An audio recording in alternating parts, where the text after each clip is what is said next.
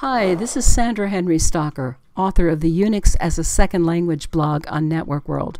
In this Linux tip, we're going to look at basic file permissions, the settings that determine what you and others can do with files. Can you read them, change them, run them, or remove them? And what can other users do? Let's see how this works. First, let's just look at a file. And as you've probably noticed many times, there is this string of permission bits that show up in long listings. Here we see read, write, execute, read, write, and read. And those permissions are assigned to various users. And I've set up this file to explain it. The first three settings are associated with the owner of the file, the next three with the group associated with the file, and the third with everyone else on the system. These values in binary are represented like this. So every time you see a 1, that means that the associated setting is set. So this one means read, this one means write. Where there's a 0, no, no permission is granted. So the owner has read, write, and the group has read, write, and everyone else has only read permission to these files.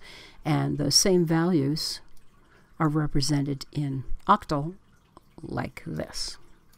Now, if I touch a file, so I'm creating a new file called new file, and then I'm going to look at its permissions, and you see I have the same permissions that we were looking at above, read write for the owner in the group, and read for everyone else. And if you're wondering where those values come from, they're either set up on the system or associated with each individual account. But you can get an idea what your settings are by using the umask command. Now, what you're seeing there looks very strange, I'm sure, but umask is basically the opposite of what you expect to see. So if umask says zero, like it does right there, 002, that would mean the resultant value would be 775, um, except that execute permission is never granted um, by default. You know, you have to go and make a file executable. So instead of getting 775, we would get 664.